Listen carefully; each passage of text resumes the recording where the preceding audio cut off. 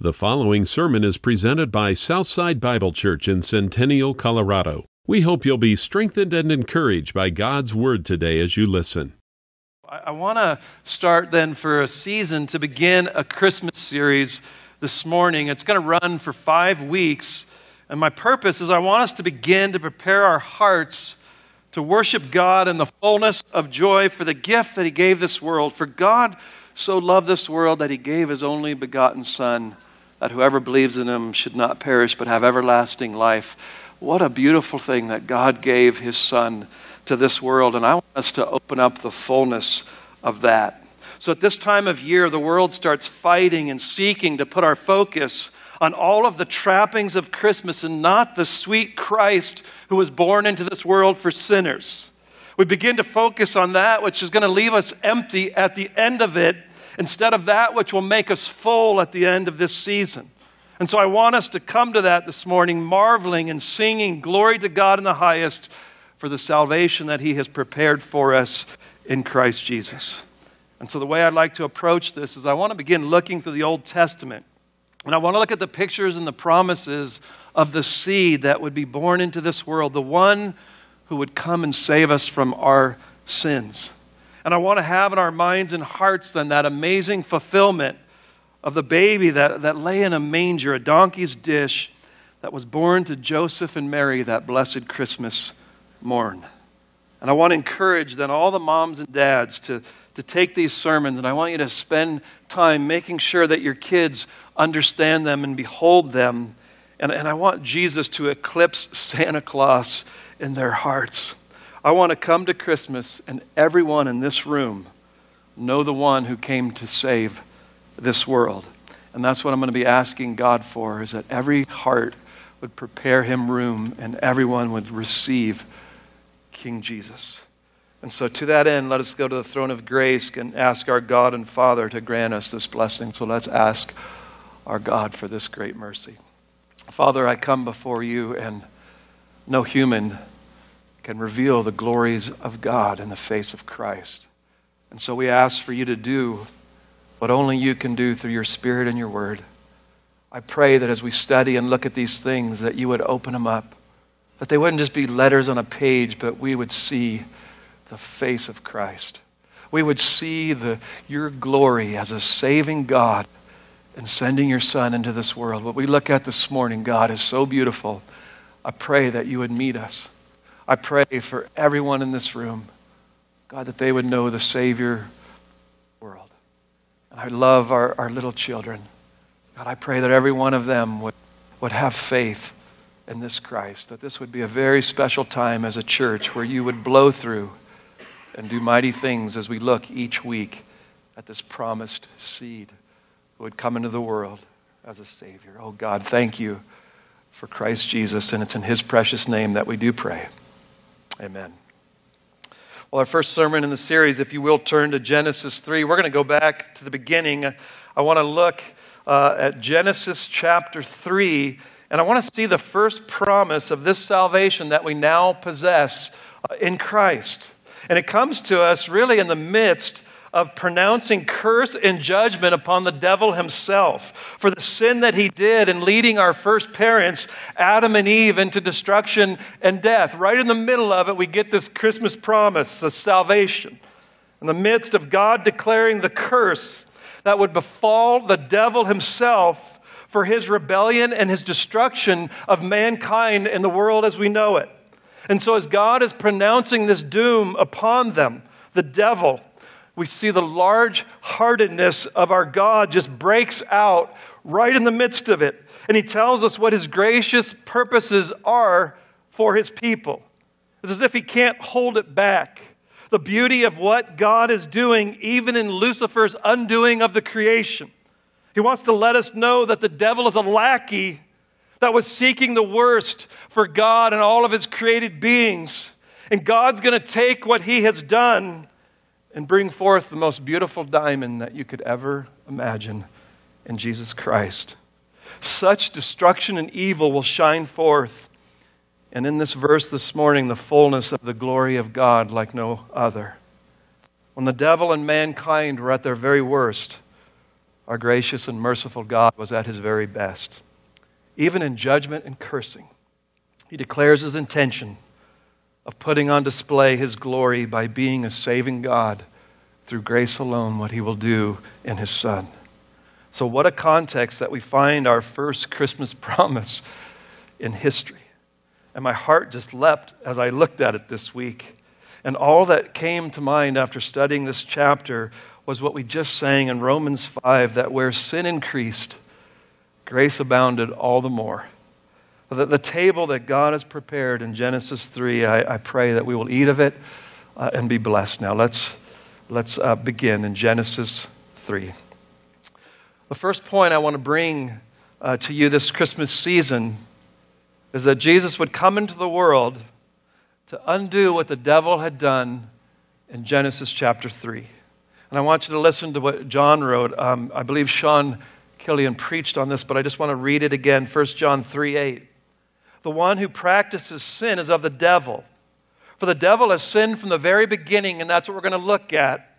The Son of God has appeared for this purpose that he might destroy the works of the devil. He's going to come into the world to destroy the works of the devil and what he's done to undo us and this creation that happened in Genesis 3. He's going to come and he's going to fix what we're going to study here this morning. And so let us come and look at how far reaching and destructive the work of the devil was. How extensive and healing then the gospel of salvation is. Where sin increased, grace overabounded. It covered it, it, it took it in. And so we're going to see that when that devil increased sin, God makes a promise where grace is going to abound and take care of the works of the devil for the children of God. Martin Luther once said the book of Romans is the whole Bible in one book.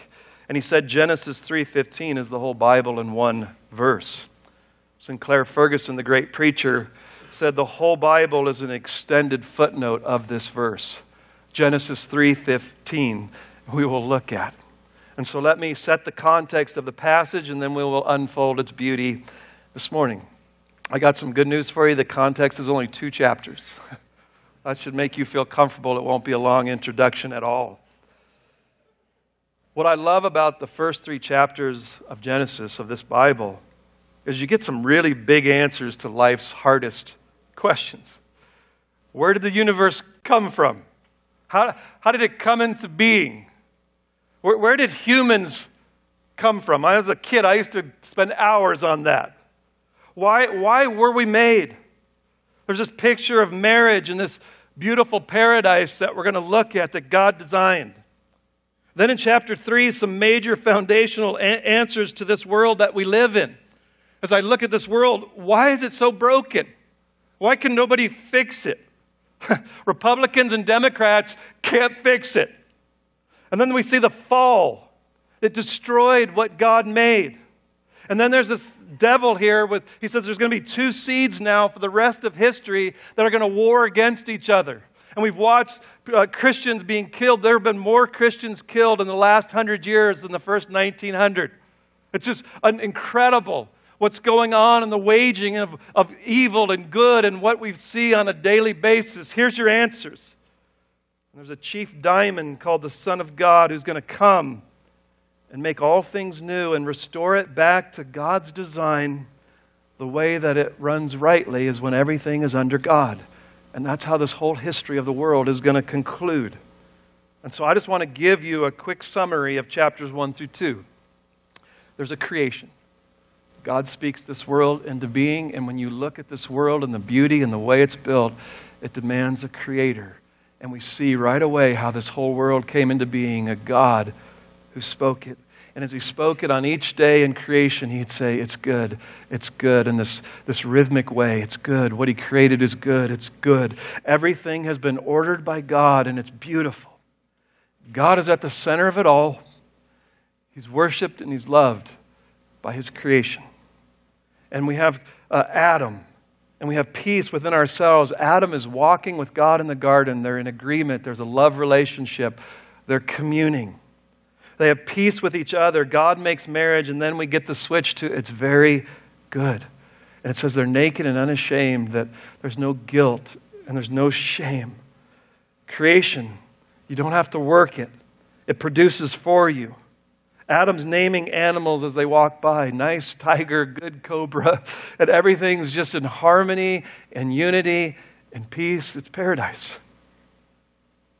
Did it stay that way? No, but it's going to end that way, but even better. Better because the fullness of God's plan and redemption in Jesus Christ is going to be fully known and displayed, and there'll be no threat of another fall for all of eternity. We will be secured and sealed, signed, sealed, delivered for all of eternity in this paradise that will be regained.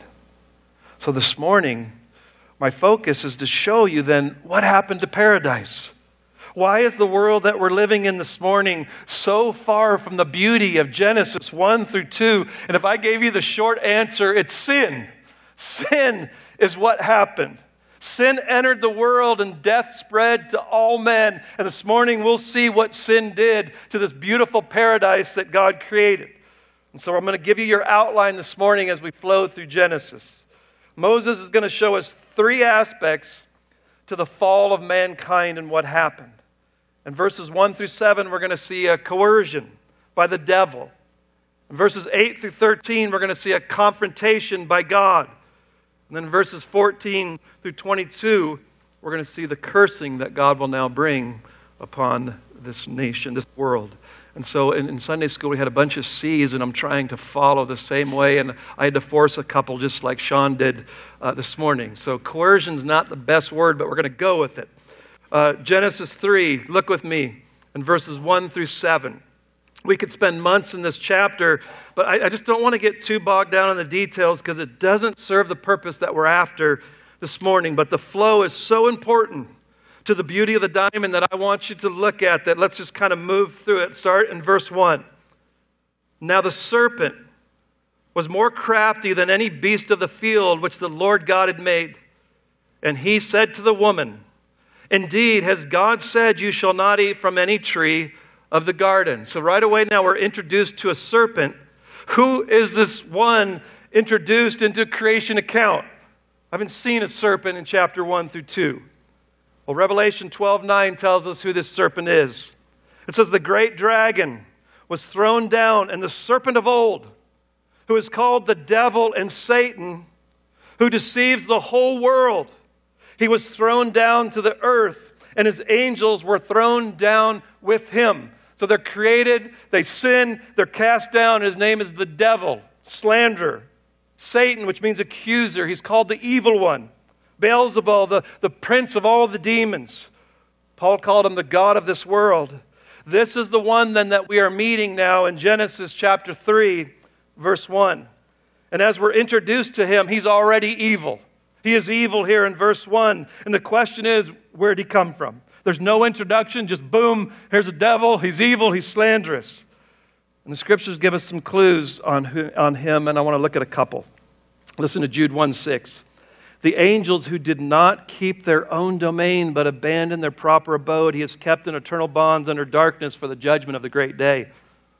2 Peter 2 4 For if God did not spare the angels when they sinned, but cast them into hell and committed them into pits of darkness reserved for judgment. And so we have these great hosts of holy angels in heaven and in creation. Just they're, they're worshiping God. They're serving the Godhead. And some didn't stay in that position of authority and privilege. They sinned with an insurrection in heaven. They didn't want to be subordinate to God. They were self exalting and self governing. And we're told that a third of them, with their leader Satan, were cast down from heaven, the demons and the devil himself. And now we have Satan then in Genesis 3 tempting Adam and Eve to bring destruction then to this beautiful paradise that God has created. Satan and the demons have absolutely no part then of fellowship with God. They don't have the joy of submission to God where, where everything is right and we're trusting Him and living under that allegiance to God. They've come out from under it and they've been cast down. And Satan then wants to destroy paradise because he hates God. He hates anyone who loves Him and enjoys Him. And he seeks to undo this whole thing that God just created. And my question is I have a couple, but why would a sovereign God allow a devil to do this? Why would he not just wipe them out right now? Take them out. Why wait till Revelation 20, where it says this in verse 10? The devil who deceived them was thrown into the lake of fire and brimstone, where the beast and the false prophet are also, and they will be tormented day and night forever and ever and ever. There's the end of the devil at the end of time, the end of history, put in there, cast in forever. Why doesn't he do why does he wait thousands and thousands of years? He should have just got him right there. Well, it's so beautiful. Why wait for a thousand years, letting him wreak this havoc on mankind? God has all authority and all power over him. We see it from cover to cover of Scripture. Why not throw him in the lake right now? We see his authority at the end of history, and he throws him in there forever. Why wait? And I got the best answer for you at the end of the sermon if you stay awake. It's a little teaser because some of you look sleepy. Let's work through this then. In verse 1, the deceiver begins then, and he comes and he says to the woman, Has God said you shall not eat from any tree of the garden? And he's beginning to have her now question what God has said. In verse 2, the woman said to the serpent, From the fruit of the trees of the garden we may eat. But from the fruit of the tree which is in the middle of the garden, God has said, You shall not eat from it or touch it, or you will die. Verse 4. The serpent said to the woman, you surely will not die. Now he's questioning the judgment, the justice of God. You surely will not die. For God knows that in the day you eat from it, your eyes are going to be opened, and you will be like God, knowing good and evil. Questioning God, the, the serpent, he's telling Eve now, God has withheld something from you. Look at paradise and all that you have, the beauty of what God's created. Here's the devil's lie to every soul ever since. He's tempted them here to distrust God. Does God really have your best? I mean, you're living in paradise. He's kept something back from you, Eve. And if you eat of this tree, you're going to be like him. You're going to know good and evil. And so God's withheld something special. You'll be, you could become like God if you eat from this tree. And there's some truth there that God does know good and evil, but He knows it in a way of omniscience. And the lie is that you will know it, but you're going to know it experientially. And God was so good in withholding that from them that they wouldn't know evil experientially in their own hearts and in their own lives and their world. They're morally perfect, they're naked and unashamed, they, they've, they've got it all.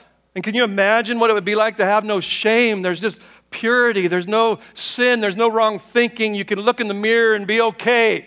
And just, there's just no guilt. Here they are. Now you're going to know evil experientially. Verse 6 When the woman saw that the tree was good for food, and that it was a delight to the eyes, and that the tree was desirable to make one wise, she took from its fruit and she ate, and she gave also to her husband with her, and he ate. C.S. Lewis said she was unwilling to bow her mind and her heart to the infinite, merciful God, and now she bows to a vegetable or a fruit. The brokenness of sin is that we will bow our knee to the things that God has made rather than to the creator of it all who has said, You shall not eat of this tree. Romans 1 says they exchanged the truth of God for a lie and worshiped and served the creature rather than the Creator who is blessed forever. Amen. The dark exchange of God for what He's created. Verse 7 Then the eyes of both of them were opened, and they knew that they were naked, and they sewed fig leaves together, and they made themselves loin coverings.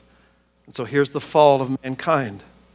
Now they do know good and evil, but they know it experientially. And now suddenly they're ashamed. Now they know they're guilty. They know these things and they're ashamed and they feel guilty. The history of the world then is they make these loin coverings. And we're trying to make coverings for our shame. And all of us are looking for ways to cover our shame, whether it's through accomplishment, uh, morality, going to church, accomplishing things in the business world. Everyone is trying to cover their shame and their guilt through some means, maybe even religion. And this is what has happened then. I want you to see the plunge of mankind. This sin has plunged paradise now into destruction. And so the coercion is to mistrust God and come out from his allegiance of what he's commanded and told you to do. And so they mistrust him. He hasn't given them all that they need to be blessed, and they eat from the tree. A second point that I want to look at then is now there's a confrontation. And God is going to come into the garden now and he's going to confront uh, Adam and Eve. Look with me in verse 8. They heard the sound of the Lord walking in the garden in the cool of the day. And the man and his wife hid themselves from the presence of the Lord God among the trees of the garden. And so they're walking with God in the garden. There's relationship, there's oneness, and now there's a hiding because of sin and guilt and shame. And we hide from God because of our guilt. We can't look him. We know who we are, we know who he is, and now this is all of the history of the world is people hiding from God. What a brokenness from relationship and walking and fellowship with God to now hiding from God. And verse 9 the Lord God called to the man and said to him, Where are you? And it isn't that God didn't know where he is, God is now working with Adam to help him realize what he has done. And verse 10 Adam said, I heard the sound of you in the garden, and look what's happened. I was afraid because I was naked, so I hid myself. There is the brokenness of sin. I'm now naked, I'm ashamed, and I've got to hide from the presence of God. In verse 11, he said, Who told you that you were naked? Have you eaten from the tree of which I commanded you not to eat? And the man said, The woman. There's the, they had such a perfect marriage. They were naked and ashamed, and they were just so, they're going to leave father and mother. Everything was so perfect. And now the woman, and it really who he's blaming is God, whom you gave to be with me. She gave me from the tree, and I ate. And then the Lord God said to the woman, What is this that you've done? And the woman said, The serpent deceived me, and I ate. What has happened to paradise? What, what made it paradise was that everything was under God. All of creation was ordered under God, and it was right and sweet and beautiful. And sin now has entered the world, and death has come to all men. And so, who, who had been given, they've been given every blessing that could be possibly given to mankind in this creation. And the devil made them doubt that God had given you everything that you need for blessing, for eternal bliss. You, you doubt it. Something else will actually make you happy other than God and being under Him and enjoying all the blessings that come with it. You can't trust God. To sit in judgment now of the goodness and the morality of God, they're judging Him and they, they question Him and they come under Him and they sin against Him.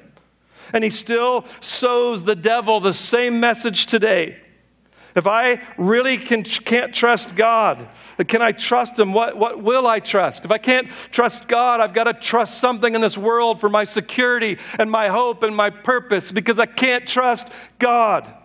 That everything will break down because the soul is so great that nothing else but the greatness of God will ever satisfy your soul. It was made for God, and it will always be restless till it finds its rest in Thee, O God.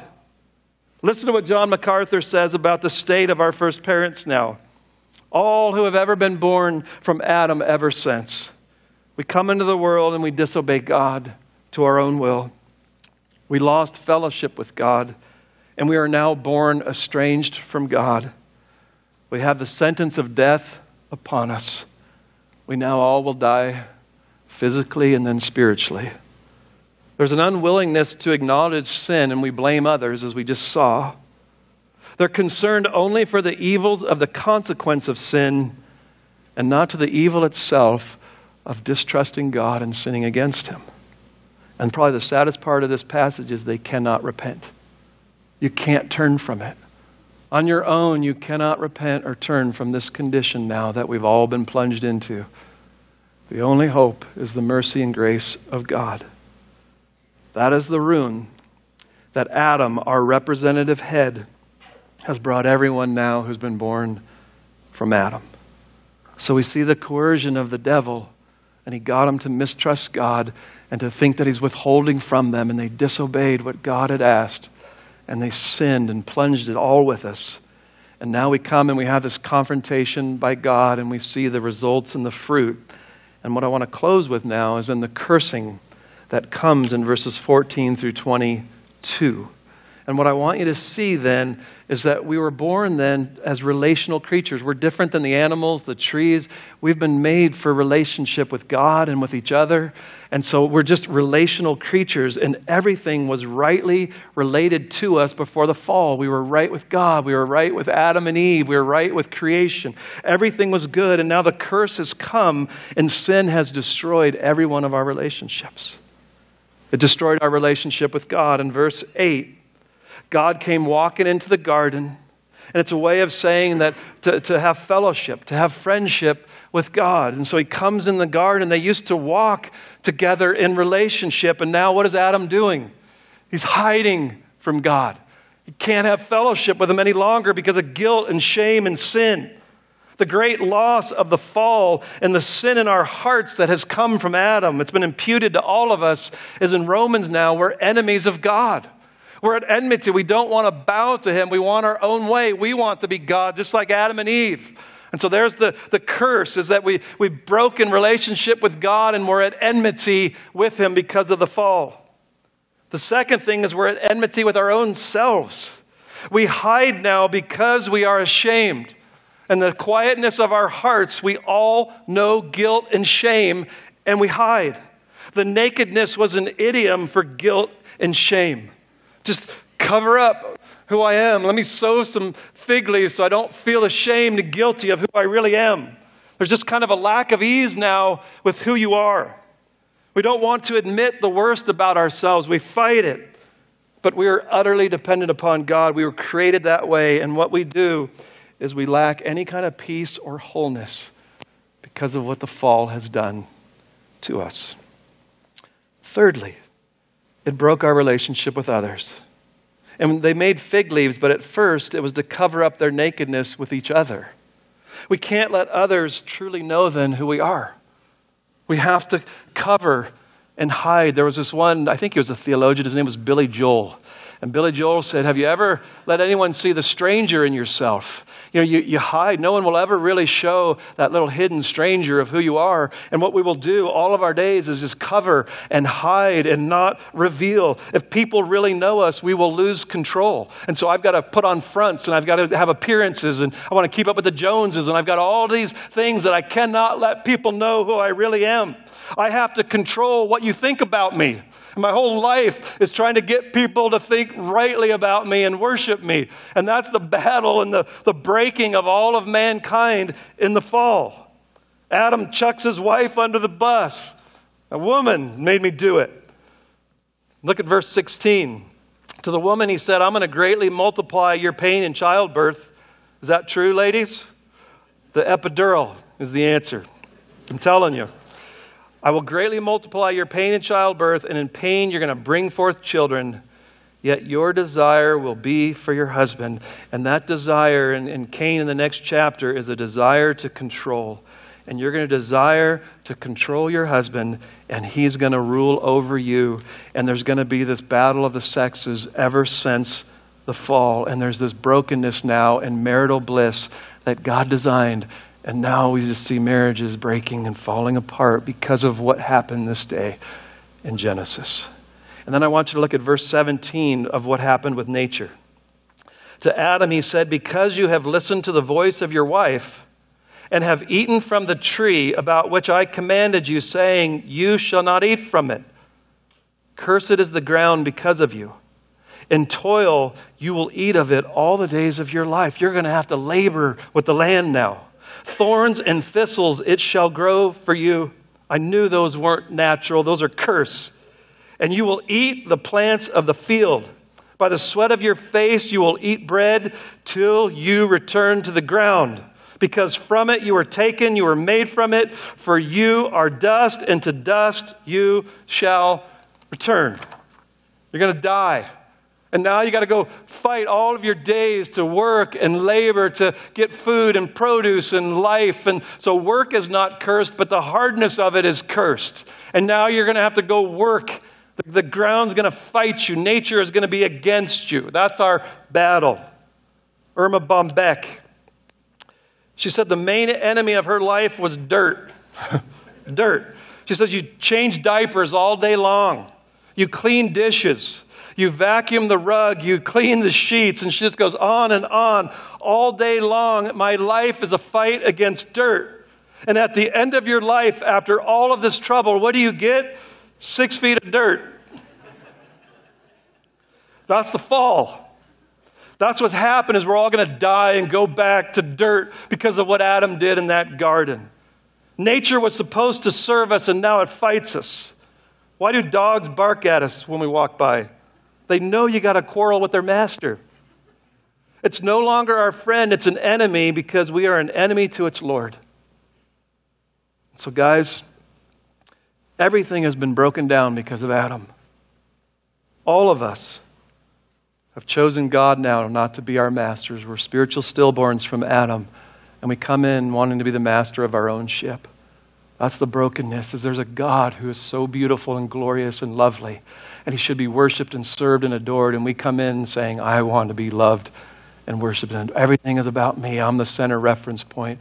That's what this terrible fall has done to created ones in the image of God. That is wrong. That's what's wrong with our world. Maybe you're experiencing that this morning. You've come in and you're experiencing the fallenness and the brokenness that it's always December but never Christmas in this world. And everything you put your hand to, it doesn't satisfy. It's vanity of vanities, like Solomon found out. This is what sin has done to this world and what it's done to us. I heard an illustration this week. If, if, if your five year old asked you, Can I drive your car, Daddy? What would you say? Sure, here you go. They will ruin the car and maybe kill everyone in the car. But the man said, We got behind the wheel in Genesis 3 and everything fell apart. Came out from under God and everything has been subjected to death and futility by what the enemy did in Genesis. So, in closing, and this is for real, Someone made fun of me during that First John series. Curtsy. It's curtsy.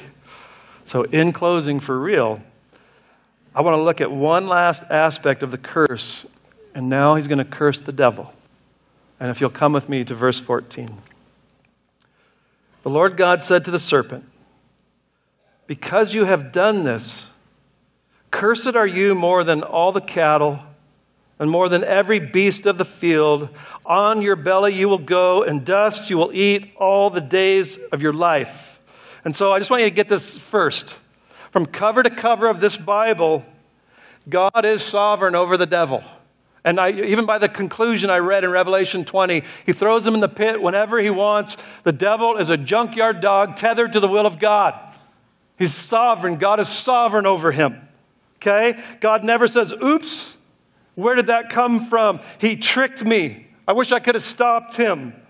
You see, instantly there's a curse upon the ser- serpent. Who's in control?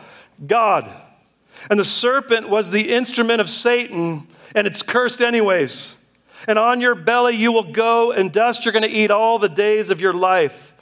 The cursing of the snake is a perpetual reminder as you see it slithering and eating in the dirt all of its days. It's a reminder, it's a picture of the devastation and the reproach that Satan bears for what he did that day in Genesis 3. Guys, what did Satan want? He's the anointed cherub, he was the highest ranking one of all the angels. He wanted more. And Isaiah, he kept saying, I want, I want, I, I want to go higher. I want to be above God. And what happened to him? He was thrown down and he was cast to earth. And now he wants to exalt himself as sovereign over man by breaking his allegiance to God here on this earth. And he's thrown down again here by eating the dust. The snake slithering in the dirt is a reminder of the humiliation of Satan the divine judgment of God upon that serpent. The dust represents defeat. To lick the dust was an enemy who was defeated. It's a symbol of being totally defeated. And then look with me in verse 15. There's the serpent, and now he'll go to Satan. And I will put enmity between you and the woman, and between your seed and her seed. Satan took a third of the angels with him from heaven. And now in the garden, he seeks to take over the world. And he captures Adam and Eve by causing them to distrust God and disobey God. And he has to feel that he just made a big dent in God's creation. It's no longer paradise, victory. He has the devotion now of Adam and Eve. I've captured humanity and they can help me overthrow God because angels don't reproduce, and now I got those that do reproduce, and they're going to reproduce seed for me all of my days. I got them. And instantly, Satan, you're wrong. God says, I'm going to put enmity between your seed and her seed. Satan's seed then is all who follow him, all who distrust God and disobey God all of his lies and believing that God can't be trusted. And Jesus in John 8 said to the Pharisees, You are of your father, the devil. You're, you're liars and murderers just like him. And so the seed of the devil is all he can't reproduce, but it's all who come into this world are born under the curse that he brought, and they're liars and murderers and deceivers, and they're of their father, the devil. But Eve's seed in this context here is referring to not everyone who's ever going to be born, but to believers. So it's not just humanity. Her seed, there's going to be those who come forth from her seed who are going to believe in the Lord Jesus Christ. And so what you have here is the history of the entire world explained. You now, he says, you're going to have two seeds warring against each other. And you see it in the rest of Genesis in the next chapter Cain is going to kill Abel. And just trace Genesis all the way to Revelation, and there's these two seeds waging and fighting. There's a war all the way through up to this day as we sit here this morning. There are two lines battling. There's a battle with darkness and light. There's the kingdom of the devil and the kingdom of God existing right now in our midst. And guys, this explains the world as we're not home yet. That's what Christmas is. Come home. But we live in a spiritual battle. And as I was thinking about it, the, I'm going to say that for the end. The seed of the devil and the seed of Eve, which are believers in Christ. This is why this world is so evil and broken. I want you to catch that because I hear people say, Why is this world so evil? I can't believe there's a God. This is why those in the kingdom of God are so beautiful because we trust God. And we do come under allegiance now to King Jesus. Your will is my will. And there's something so beautiful in the midst of all the seed of the devil that distrust God and live only for themselves, that he's calling out these people for himself that will come under the lordship of Jesus Christ and trust God that He's given us everything in Christ Jesus. In the midst of some of the afflictions that you guys are facing now, there's, a, there's an ability to trust God who's working everything for our good and bringing us to glory. Satan is so smug and proud of himself here in Genesis 3. And God curses him even more, and he says, You dupe. You just played into my eternal, beautiful, perfect plan, you little lackey. To put the Son on display for all the nations to look upon him and marvel and worship Jesus Christ for all of eternity.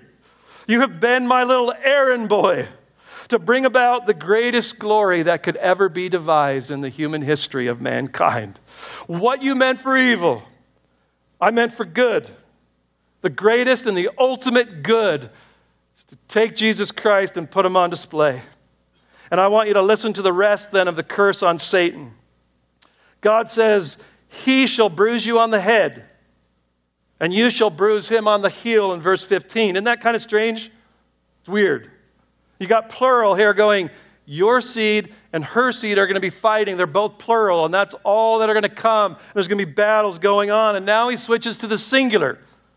He says, He. Who is he? Well, there's going to be one who's going to come from Eve's seed. And he's going to come into this world and he's going to bruise, which this word means to crush your head, devil. You are going to be destroyed by this he. He is going to just crush your head. And you're going to bruise him on the heel. There's going to be a battle later than in the history of this world, as is telling us.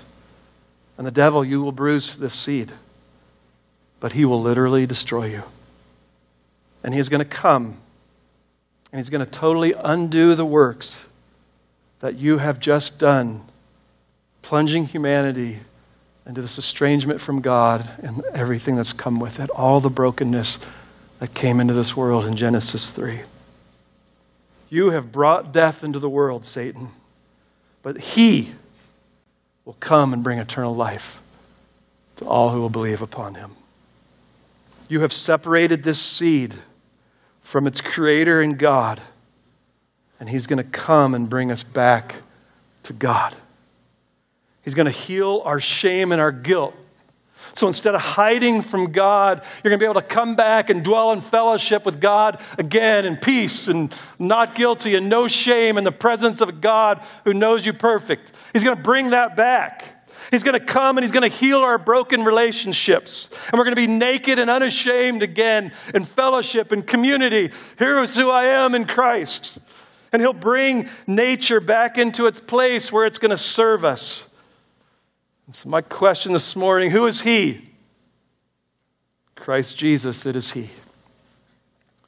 This is the promise of Jesus Christ, given Satan a decisive death blow and crushing his head. And he's going to undo all of the works that we just saw in Genesis 3. So, what is the power that Satan had in Genesis 3? What power did Satan come away with? Why is he so smug? What does Jesus need to come into this world and reverse from this offense? Sin and the consequences of sin. They chose sin over God, and sin plunged us into ruin and death. And sin is the problem. Sin is what has broken everything with us and God other in this world. It is sin. That was the thing that threw this whole world into such chaos. How can we be friends with sin? It's an enemy of God and it's destroyed everything. Sin is what brought death and destruction. Sin is our enemy. Sin is what has given Satan teeth and power over death. The soul that sins must die. The very justice of God has to be satisfied for sin. He says you are guilty of breaking the whole law for one sin. The justice of God must be satisfied to punish sin. Satan can rightfully charge every one of us as unbelievers with sin. When you get on your deathbed and you stand before God and He says, guilty of sin, you're going to have no argument before the living God. And you'll be cast down into an eternal justice and wrath forever. God's justice must punish sin or He's not God. What power the devil held over us was death. And it was eternal death because of sin. The seed of Eve, he must come and deal with sin by satisfying God's justice for it. Look with me in Genesis 3:22. And the Lord God said, Behold, the man has become like one of us. There's the Trinity knowing good and evil. And now he might stretch out his hand and take also from the tree of life and eat and live forever. Therefore, the Lord God sent him out from the Garden of Eden to cultivate the ground from which he was taken. So he drove the man out of the presence of God.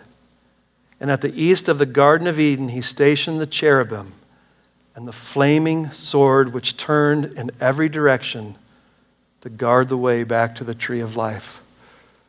My, the tree of life, to come back into paradise with God, relationship with God. It's protected by a sword of justice that turns in every direction. You're not going to sneak in. Turns in every direction, this sword. There's no way back in because this sword is looming over the entrance back into the presence of God. And so one then must come under the judgment of the sword of God for sin. There's no other way back in. That sword has to be satisfied. And I want you to hear a thousand years before Jesus came into this world, Isaiah said this in chapter 53 Surely our griefs he himself bore, and our sorrows he carried. Yet we ourselves esteemed him stricken and smitten of God and afflicted. But he was pierced through for our transgressions, he was crushed for our iniquities. The chastening of our well being fell upon him, and by his scourging we are healed. All of us, like sheep, have gone astray. Each of us has turned to his own way, our own thoughts, our own philosophies. But the Lord has caused the iniquity of us all to fall upon his Son. And that sword that moved in every direction pierced his own Son through until he said, My God, my God, why hast thou forsaken me? Because you have to take this sword right through your very soul and die for what happened in Genesis 3. Jesus Christ went under the sword on a cross, and God slew him. And he's been wounded to bring us back to the tree of life. To bring us back, I want you to hear this as carefully worded to the favorable presence of God. To bring you back into the favorable presence of God, like we saw in Genesis 1 through 2. The glory of glory and the irony of ironies to me is the original tree of life became a tree of death. And the cross, which was a tree of death, becomes a tree of life for all who will come to Christ and believe upon him for what he's done. The glory of God is that another Adam, a second Adam, came into this world, and where Adam failed, this Adam would be tempted and he would never cave in to the lies of act for yourself, jump, mistrust God. All the temptations were about not trusting God. He's not going to take care of you. And the devil would not win against the second Adam. And he would have victory over him and he would go to a cross and he would take that sword of justice that everyone in this room deserved so that you could be forgiven of every sin that you've ever committed and be brought back into the favorable presence of God, naked and unashamed before your God. To undo what the devil did in Genesis 3. Praise God for he who left heaven and came to earth and was born of a virgin in a manger to crush the serpent's head for us. And in closing, for real, I'm going to be aware of it, Greg, from here on out. Thank you. Um, to answer my earlier question, why did he not just destroy the devil right there in Genesis 3? Why did he not crush his head right there in that garden? Colossians 1 says, For by him, Christ, all things were created both in the heavens and on the earth, visible and invisible, whether thrones or dominions or rulers or authorities. All things have been created by him and for him. Everything's been made by Christ, and everything is for his glory. And so the reason he wasn't crushed right there was for the glory of Jesus Christ to be put on display. All things are for him. The Son of God gets more glory by destroying the devil this way than just raw power in destroying him in the garden. There's more glory in the Son of God hanging on a cross, fixing this problem and remedying it. What love! Amazing love, how can it be that thou, my God, would die for me? What a beautiful, better way to deal with this problem than just crushing him there. If he would have destroyed him in Genesis 3, you would have never had a he saving us by his cross and his life, and we would still be in our guilt and our sin. By doing it this way, he redeems us back from sin and all of its consequences. And he wins our heart by the way he did it. So that now he has our allegiance. He doesn't just take it, he wins us eternally by the Son of God dying on a cross in our place. as we now come under his lordship, we find the healing right now beginning from the works of the devil. And he begins now doing that in our lives. He's done much of it, and he will do more when he returns. On the last day, there will be no more effects forever from this sad day in the Garden of Eden. There'll be no more effects, not even one, for all of eternity. He will undo the work of the devil. The one born on Christmas had to take on flesh and blood, to be born of Eve, to become from that seed, and stand in our place and take the sting of death and sin away, that He, He is what the world was waiting for. And so I want to close with one of my favorite Christmas hymns by Isaac Watts, just a line. He said, No more let sins and sorrow grow, nor thorns infest the ground. He comes to make his blessings flow far as the curse is found.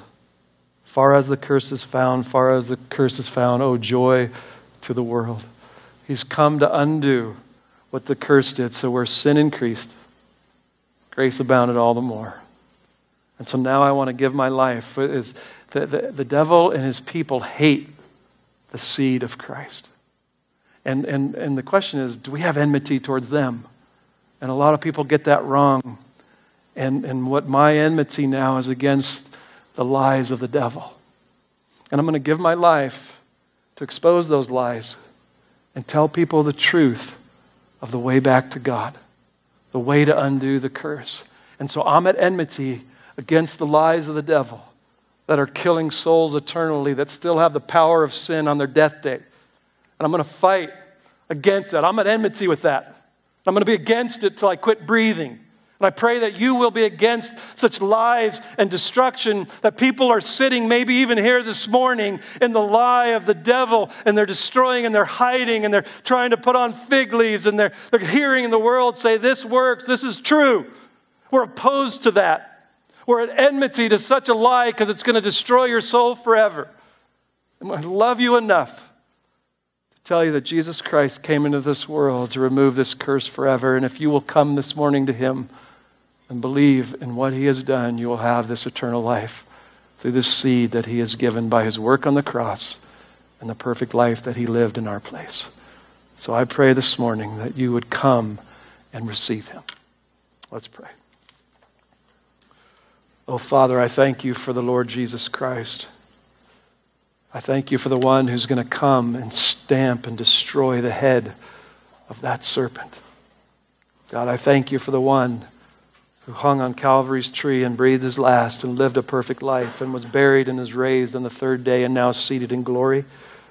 I thank you that he was just bit on the heel and he now lives in life and gives life to all who come to the eternal life, the Lord Jesus Christ. God, I thank you for a better second Adam. I thank you for the one who did not fail, but the one who would not come out from under his allegiance to you, the one who would not mistrust his Father. God, thank you for this Christ, and thank you that this morning we are in him, and that it's as if we had that victory and we now live in Christ. God, thank you for the second Adam. And thank you that that devil was destroyed by his work. And I thank you that now we live in this battle, but it's a, a, sure victory at the end. He will be thrown in that lake of fire forever, and we will be brought into the new paradise where we will be safe. No, no threats ever again for all of eternity, naked and unashamed, loving and walking in the garden with you, O oh God. Your gospel is too good. We thank you for it. We praise you, we believe it, and we trust it this morning. And it's in Christ's name that we pray these things. The preceding message was presented by Southside Bible Church in Centennial, Colorado, and we hope you've been challenged and encouraged to grow in your relationship with Christ. Each week, our sermons are made available online and may be downloaded and distributed. If you have questions or comments or would like to speak to one of our pastors, please contact us through our website at southsidebible.org.